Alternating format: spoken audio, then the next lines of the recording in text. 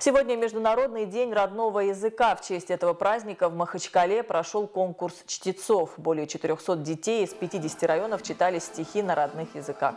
Звучали произведения Расула Гамзатова, Фазу Алиевой, Залму Батирова, Ирчи Казака и многих других известных дагестанских поэтов.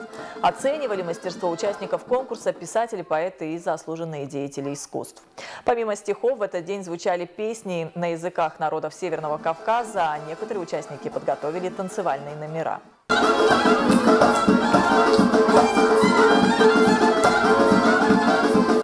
После конкурса педагоги и представители Министерства образования обсудили состояние преподавания родных языков в школах и вузах Дагестана.